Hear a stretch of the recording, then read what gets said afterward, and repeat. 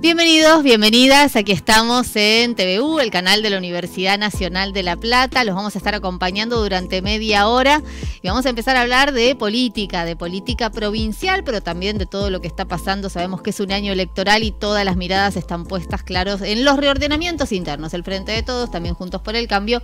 Hoy nos vamos a ocupar del Frente de Todos en la provincia de Buenos Aires. Y para analizarlo, analizar el escenario eh, electoral en la provincia, ya recibimos al diputado provincial Walter Abarca, diputado del Frente de Todos. ¿Cómo estás, Walter? ¿Qué tal, Verónica? Buenas tardes. Bueno, gracias por la invitación. Un placer estar en este, este hermoso canal y este hermoso estudio que no conocía.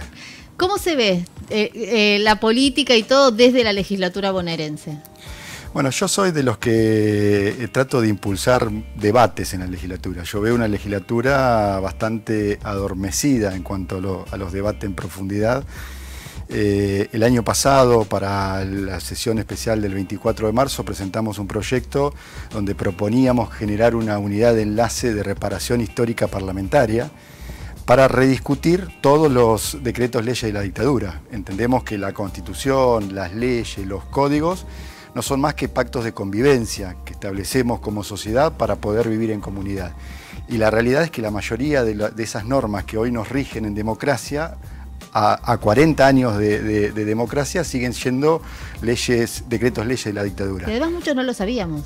¿O no lo sabemos? Muchos no lo sabíamos y no lo sabemos y digo, y a, muchos nos sorprende. Por ejemplo, a mí me sorprendió mucho en un terrible trabajo de investigación que hizo un equipo de la legislatura. Leyeron, analizaron e investigaron 3.217 decretos leyes y por ejemplo, eh, entre los decretos leyes que analizaban y que en su momento nos ponían un semáforo amarillo a los legisladores, decir, miren, hay que mirar y analizar esto, estaba por ejemplo el decreto ley del año 56 que derogaba la constitución del 49 y que ponía en vigencia la constitución del 34. Bueno, el interventor federal no solo no tenía facultades ni legislativas ni constitucionales para derogar una constitución, sino que después cuando volvió a la democracia, a la legislatura de la democracia, a través de una ley ómnibus le dio validez a todos esos decretos leyes de la dictadura. Con lo cual le dio validez al decreto ley que derogaba la del 49 y ponía en vigencia... O sea que hoy estaría en vigencia la constitución del 34. Hay toda una revisión histórica para hacer, para, para saber eh, cuál es la constitución legal ilegítima. Eh, Ahora, Walter, ¿hay consenso? Digo, porque estamos hablando en general, hay diferencias, tantos tironeos, idas y vueltas con el presupuesto, con el fondo de seguridad y no sé qué.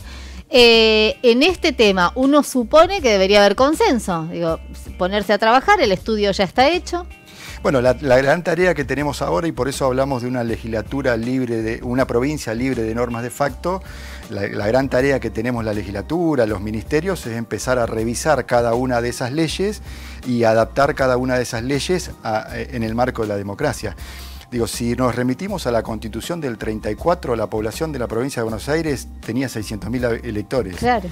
La mujer no participaba. Por lo tanto, es imposible que ese pacto de convivencia que hoy todavía nos rige pueda expresar la ciudadanía actual de la provincia de Buenos Aires no, eh, no solo que había un tercio de la población que hoy tenemos, sino que eh, el 50% de la población no participaba, que eran las mujeres.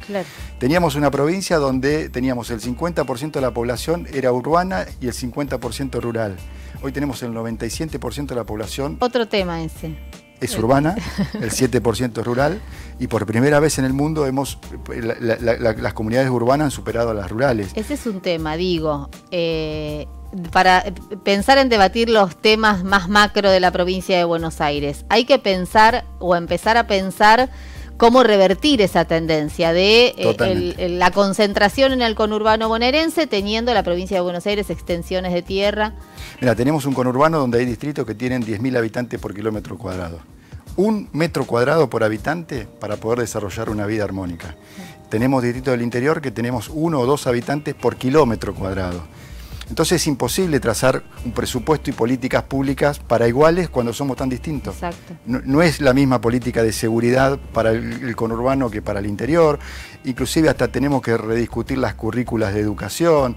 Digo, las distancias hacen que en un lugar, en el interior, eh, el Estado sea mucho más costoso brindar un servicio y en el conurbano el crecimiento poblacional hace que el Estado siempre llegue tarde con los servicios. Ahora hubo eh, proyectos para dividir la provincia, eh, el de Otavis, el de Patricia Bullrich también. Ahora, también hay eh, proyectos de regionalización. Si no me acuerdo, de Santiago Montoya. Yo, tengo una postura, sí, Santiago Montoya, y hay algún otro proyecto de división de provincia. Yo la verdad que en eso no coincido en que haya que dividirla la provincia. Yo creo que hay que integrarla la provincia. Y para mí el camino de la integración es un rediseño institucional. Hay que trabajar y discutir las autonomías municipales, otra discusión de 1934. Que también está en la Constitución. Que está en la Constitución Nacional y que no hemos consolidado en la Constitución de la provincia de Buenos Aires. Tenemos los bonaerenses una falta con la Constitución ¿Qué significa la autonomía municipal? La autonomía municipal significa la libertad de los pueblos para poder proyectarse, pensarse, generar comunidad organizada, poder tener un, un proyecto de desarrollo y por supuesto tener la administración para hacer esos proyectos. La administración de, la salud, la educación, la seguridad, todo. Con presupuesto. Porque hoy sabemos que salud, educación y seguridad es potestad de la provincia. Si no hay un desarrollo equitativo que, eh, donde todos seamos iguales los que vivimos en este territorio y, y, sustentable, donde cuidemos la casa común, como lo dice el Papa Francisco, digo, no hay desarrollo. Y si no hay comunidad organizada, no hay desarrollo. Y te voy a graficar en un ejemplo. Eh, yo soy de los que digo que en la provincia de Buenos Aires no hay una democracia consolidada.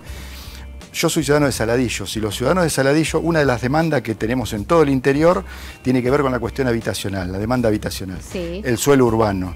Si el intendente de Saladillo decide hacer suelo urbano para, poder empezar a paliar esa demanda, tiene que aprobar un, proyecto en el Consejo Deliberante. Ahora, después esa urbanización que deciden quienes democráticamente son electos para gobernar el distrito, eh, tiene, está supeditada a una aprobación de eh, eh, un organismo de la provincia. O sea, cuatro arquitectos en la provincia deciden por sobre el poder político de Saladillo. Lo mismo ocurre con el Tribunal de Cuentas. Digo, los intendentes, los consejos deliberantes deciden llevar adelante una política pública. Por ejemplo, el mejoramiento, mejorar los salarios de sus trabajadores. Con un bono, con un plus, con el mecanismo que encuentre. Con el mecanismo que encuentre y que los recursos que tienen. Bueno, después tiene que aprobarlo el Tribunal de Cuentas. En definitiva, el Tribunal de Cuentas es el que termina decidiendo sobre la política salarial de que fija un intendente o los concejales. Ahora, todo es perfecto Tenemos cargo de perpetuidad en la provincia. Pero, bueno, claro, el Tribunal de Cuentas, bueno, el fiscal de Estado. Bueno, en democracia, la verdad que deberían ser muy pocos los cargos de, perpetuidad. Todo suena bien y, hasta discutible, ¿no? Puede haber alguien, algún otro legislador que, tenga una mirada diferente. Ahora, ¿cómo en este contexto político es posible llevar ese debate a la legislatura o, a donde sea necesario? Digo, porque eh, eh, vemos eh, oficialismo y oposición, juntos por el cambio, juntos en la provincia y frente de todos, pero además vemos hacia adentro, juntos por el cambio con sus profundas diferencias y el frente de todos también. Mira, yo creo que no es una discusión que podamos saldar y sobre todo en un año electoral. Digo, nosotros hemos hecho una propuesta de convocatoria convencional constituyente porque es el mecanismo de reforma de la Constitución. Eso sería con cuando votamos. Cuando votamos, elegir convencionales constituyentes, que son los que tienen que modificar la Constitución. Que todos estos debates que nosotros damos, en realidad, lo tiene que dar un convencional constituyente y plasmarlo en la Constitución. En una asamblea. Yo no creo, digo, no, presento el proyecto convencido de que este año vamos a elegir convencionales constituyentes. Lo ideal sería hacerlo en los años electorales. Claro. Lo ideal sería en Para evitar una elección en el medio. E, exactamente. Eh, pero creo que es un debate que tenemos que dar. Eh, digo, la provincia de Buenos Aires eh, hace 100 años, fue la última vez que casi 100 años que debatió, por ejemplo, las autonomías municipales. Hablamos de la asamblea de mayores contribuyentes y cuando vos lees la convencional constituyente del año 34 ya decían que era un término viejo de mayor contribuyente. Casi 100 años después seguimos hablando de asamblea de mayores contribuyentes. Para aprobar una, una, fiscal impositiva en los municipios, tienen que convocar asamblea de mayores contribuyentes. Eh, Walter, hablaste de la campaña electoral y es imposible no hablar del frente de todos. ¿Cómo imaginas el escenario electoral en la provincia de Buenos Aires? Axel, la reelección. yo hace mucho tiempo que digo que para mí el escenario ideal, tanto en la nación como en la provincia, sería que podamos repetir fórmulas. Porque digo, si Alberto Fernández y Cristina Fernández de Kirchner pueden volver a ser candidatos en la nación es porque hicimos bien las cosas. Si Axel Kicillof y Verónica Magario pueden repetir en la provincia de Buenos Aires es porque hicimos bien las cosas. Y la verdad que cuando estamos discutiendo quién puede ser o quién no puede ser, es una demostración de que no hemos hecho tan bien las cosas. Digo, fuimos una excelente alianza electoral porque logramos conjugar el descontento a los desastrosos gobiernos de Macri y Vidal y ganamos una elección. Ahora después no fuimos una buena alianza de gobierno. Y no fuimos una buena alianza de gobierno precisamente porque nos falta dar debates internos. Nos, falta... ¿Cuál es el espacio para dar los debates? Digo, ¿es el PJ bonaerense? Pareciera que no, porque no contiene a toda la coalición la, realidad es que no, no tenemos espacio en ningún ámbito. Digo, no tenemos espacios nacionales, no tenemos espacios provinciales, no es espacio en la legislatura, no tenemos espacio en los distritos eh, y sobre todo no tenemos espacio en los distritos donde no somos gobierno. Digo, donde, somos gobierno hay una legitimidad en el intendente, en quienes conducen. Eh, creo que es un problema de la política en general, no solo del frente de todo pero creo que necesariamente tenemos que empezar a discutir estas cuestiones, discutir un plan de desarrollo para la provincia de Buenos Aires. dijo institucionalizar el Frente de Todos. Propusieron institucionalizar el Frente de Todos con, bueno, representación, ¿por qué no? Gobernadores, eh, partidos yo creo que hay que revitalizar los partidos políticos. Yo he presentado un proyecto para, para que se pueda hacer una afiliación online, para que terminemos con eso de las tres? No se puede hacer afiliación online. ¿Es personal? ¿Tiene que ir la persona o una ficha? Y tiene que hacer tres fichitas y firmar tres fichitas, sacar la, ¿Y la por foto. Qué? ¿Qué pasa con porque Seguimos, porque seguimos con un sistema arcaico y viejo, lo mismo que te digo de la Constitución. Claro. yo me asocio a, mi club eh, online, eh, voto una ley de manera online. Desde cualquier lugar del planeta puedo votar una ley por que hago eh, verificación de rostro y, voto una ley. Ahora no puedo afiliarme a un partido político. Claro, hay que abrir los partidos políticos, hay que... Ahora, ¿son los partidos políticos? Porque esa es la otra discusión. Eh, o probablemente haya, los frentes políticos hayan llegado a un momento de crisis y sea necesario también ver de qué bueno, los frentes políticos en realidad se componen de partidos y los partidos son los que tienen el monopolio constitucional para la presentación Walter, de candidatos. son los partidos los que han sido históricos, digo, el radicalismo. Bueno, el PRO es un partido nuevo, ahora tiene alguna tiene proyección nacional. Eh, yo, creo, que hay, yo creo que hay que revitalizar los partidos, que hay que buscar mecanismos de participación. Digo, los problemas que genera la democracia se solucionan profundizando la democracia. Los problemas de la democracia se solucionan con más democracia. Los partidos políticos tienen el monopolio de la presentación de candidatos, cosa con la que estoy de acuerdo. Ahora, los partidos políticos no pueden cercenar el derecho a elegir y ser elegido de cualquier ciudadano que quiera participar. Entonces, por ejemplo, la afiliación a un partido político no puede estar eh, verificada o certificada por quien es autoridad del partido. Cualquier ciudadano que se quiera afiliar a un partido político tiene que tener el derecho de poder afiliarse, en todo caso el partido después, si no cumple con las normas, si no cumple con las normas que establece el partido, lo puede expulsar, pero el ingreso a un partido político no se le puede, es el derecho político de, de elegir y ser elegido. Walter, dijiste, repetiría fórmula es imposible, perdóname que te lo diga. No, va, no la veo, pero puede ser, pero parecen pocas las chances de que eso ocurra. Eh, ¿Imaginás a Cristina candidata? me encantaría, clamor. me, encantaría, pero la verdad es que yo quiero respetar las decisiones de Cristina y yo lo digo en cada plenario, en cada reunión que me junto con compañeros, digo, nosotros tenemos que trabajar por construir 135 candidatos a intendente en la provincia de Buenos Aires que estén con, la, con, capacidad de ser intendente. Y tenemos que construir una fórmula gobernador que sea indiscutido eh, la fórmula gobernador. Y después ir a decirle a Cristina, compañera, todo este espacio político, que es la provincia más grande de la Argentina, está dispuesto a acompañarla y que Cristina decida si quiere o no ser candidata la verdad que a, esta altura de la vida seguirle pidiendo a Cristina que nos solucione los problemas que no podemos solucionar el resto de la dirigencia, me parece de mínima injusta. Eh, ¿Cómo lo ves Axel en la provincia de Buenos Aires? Digo, unificando, porque la verdad es que hay diferencias y bastante profundas, ¿no? Eh, unificando a todo el frente de todos. Mira, yo salvo siempre, por supuesto que tengo diferencias con, el gobierno de la provincia y las he manifestado público y he hecho, he, presentado proyectos en algunas cuestiones que no he logrado que avancen porque no, pues no logramos el consenso interno. Pero yo siempre rescato y digo, eh, a Axel y Alberto le tocó tal vez el peor gobierno, de hacerse cargo en el peor momento de la historia de la Argentina. El gobierno nacional con una deuda de más de 50 mil millones de dólares, el gobierno de la provincia con una deuda de más de 7 mil millones de dólares. La pandemia a los tres meses de haber asumido, cuando salimos de la pandemia, una guerra internacional que explota la inflación internacional y fija eh, el valor de los alimentos porque el 30% del costo de los alimentos en la Argentina es logística, no manejamos precios internacionales, entonces es imposible poder combatir la inflación en, la situación del contexto mundial. Bueno, ahora una sequía, la sequía más grande de la historia de la Argentina que, nos va a generar serias dificultades en el ingreso de divisas digo, les, ha tocado bailar con la más fea. Entonces, a veces eh, hago soy crítico hacia adentro de decir, bueno, podríamos haber avanzado en algunas discusiones, como por ejemplo lo que te acabo de decir de la Constitución. Digo, y a Alberto le hago las mismas críticas, digo, podríamos haber avanzado con algunas políticas, ahora hay que ponerse en los zapatos de Axel y de Alberto en la situación en la que le tocó gobernar la Argentina y la provincia de Vos, Walter, sos comprensivo, pero hay un sector del Frente de Todos que no es tan comprensivo. De hecho, hace un rato escuché declaraciones de Bernie bastante duros, ¿no? Con el, con el... No coincido en absoluto. Fuerte. Eh, bueno, ¿qué, qué, ¿cómo se dirimen esas diferencias? Porque parecen casi insalvables. Además, bueno, esto de decir que Néstor le daría una patada. Yo creo que eh, el primero que le daría una patada sería él. Digo, todos los que conocimos a Néstor sabemos que era un componedor, sabemos que era un hombre de diálogo, sabemos que hablaba con todos y cada uno de quienes pasaran por Casa Rosada. Yo siempre digo, Néstor hizo un consejo económico y social que no lo institucionalizó, pero lo llevó a la práctica. Se sentaba con cuanto empresario, dirigente social, económico. El que quisiera pasar por Casa Rosada a tomar un café con él, se sentaba y le explicaba cuál era el modelo de desarrollo de la Argentina. Eh, nunca con Néstor hubiesen salido ministros a decirse públicamente las cosas que hoy se dicen en la Argentina.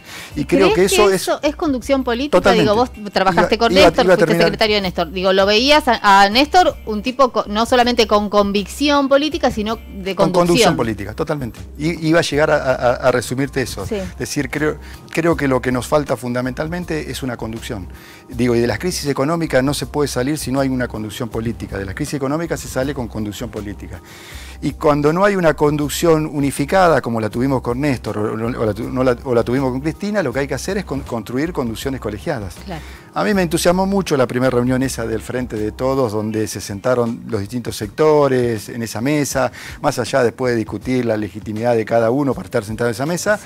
Digo, creo que necesitamos un orden, necesitamos una conducción, un orden, un lugar donde se terminen definiendo finalmente algunas cuestiones eh, que pueda marcar una conducción política. ¿Y quién convocaría a esa mesa? Digo, la convocó Alberto, la del 16 de febrero en el PJ Nacional. Eh, parecía que arrancaba la cosa, pero ya antes de arrancar era, bueno, es la mesa de estrategia electoral, bueno, no, disputamos la política del gobierno, no, no queremos que se, que se evalúe la gestión de gobierno, bueno, ahí quedó también empantanado, hubo foto, hubo todo, pero bueno, pasó más de un mes. Eh, o sea que Alberto no sería la persona o el dirigente que tendría la legitimidad para convocarla. Ahora, ¿sería Cristina? Yo creo que en el caso nacional Alberto es el presidente de la nación y es el presidente del Partido Justicialista, el partido está perdiendo un poco de la columna vertebral. Por algunos dirigentes está perdiendo un poco, le están perdiendo un poco de respeto. Bueno, pero creo que eso lo único que hace es, deslegitimar esa mesa de conducción que tenemos que generar. Digo, creo que naturalmente el presidente de la nación y el presidente del PJ, el partido mayoritario, deben ser, debería ser quien debería convocar a una mesa de diálogo y de conducción. Y en la provincia de Buenos Aires el gobernador y el presidente del Partido Justicialista, que es el partido que también es la columna vertebral en la provincia de Buenos Aires. Esa mesa después tiene que estar integrada por los distintos partidos, tiene que estar integrada por las distintas representaciones, los intendentes, los intendentes del conurbano y del interior. ¿Crees que se perdió tiempo en armar esa estructura que llegamos como muy de pronto a las elecciones y ahora pareciera que el Frente de Todos tiene como todo muy mezclado? Sí, sí, es, cierto que se, perdió tiempo, pero te vuelvo a repetir lo mismo. Digo, tuvimos dos años en pandemia, tuvimos dos años en la que ni siquiera nos podíamos ver las caras, en la que cada uno estábamos en, la trinchera tratando de atajar como se podía atajar, porque no sabíamos cómo teníamos que defendernos de, ese virus. Digo, yo hago una salvedad de que tuvimos en realidad un año y pico de gobierno para, para poder vernos las caras, debatir, discutir plasmar una conducción. Ahora, estoy convencido de que si no tenemos conducción política es imposible eh, tener un, desarrollo económico. Y estoy convencido, y cada vez que lo leo me convenzo más, que lo único que hay que hacer es leer a Perón, leer los planes quinquenales, leer eh, eh, comunidad organizada y leer los discursos de Néstor. Si leemos los discursos de Néstor, tenemos el camino clarito de la Argentina que tenemos que transitar.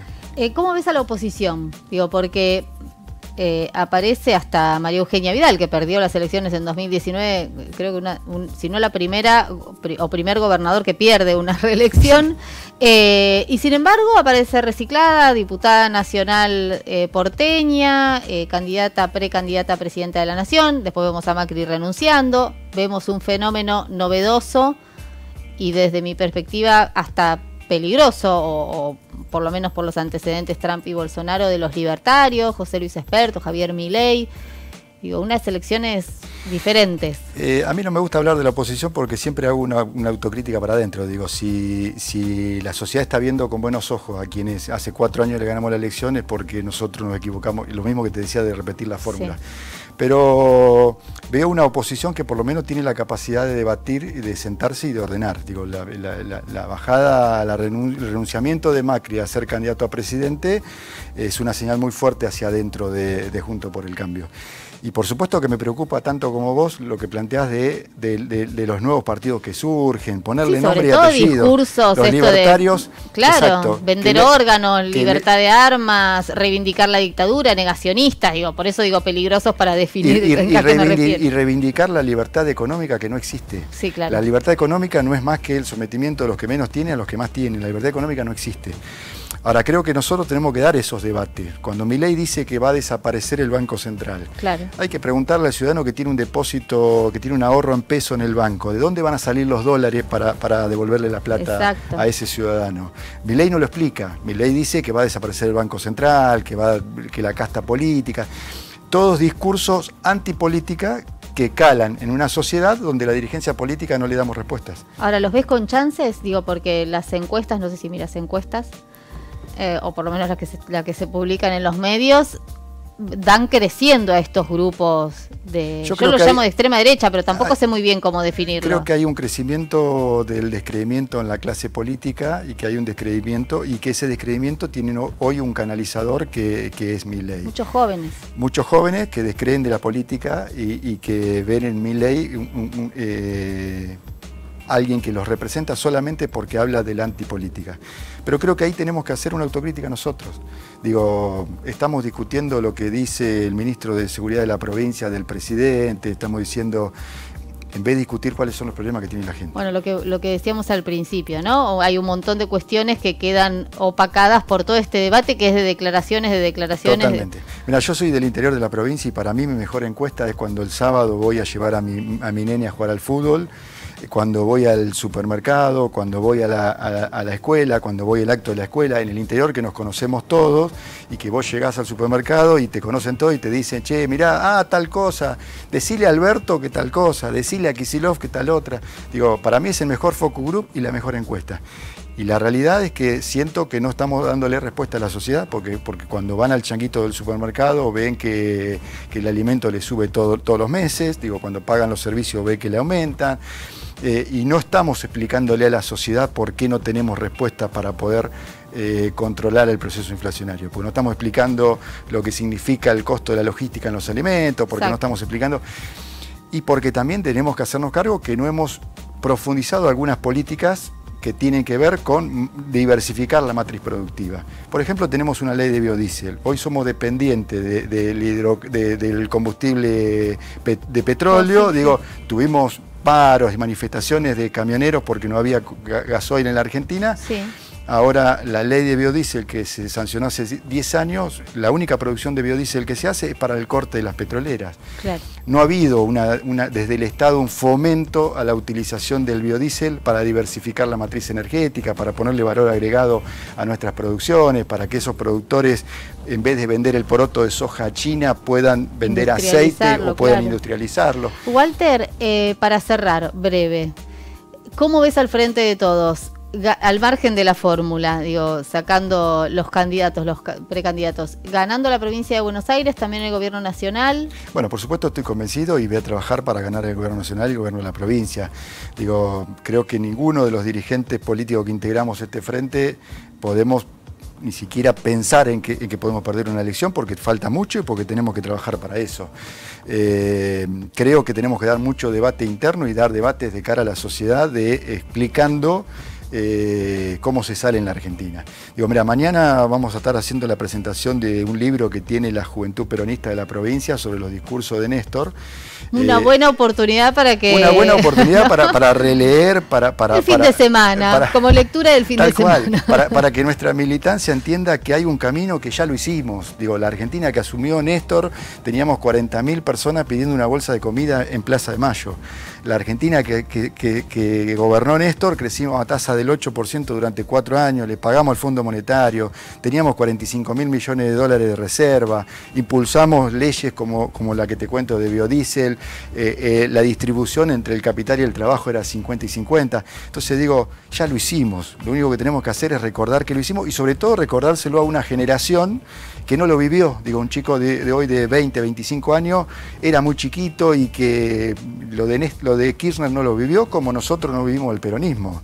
Entonces, a esos jóvenes que tal vez no le podemos contar por un canal de televisión o por una radio o por un diario como hacíamos nosotros, hay que contarle por las redes sociales que hay un modelo de desarrollo que ya lo llevamos adelante y que fue efectivo, que dio resultado.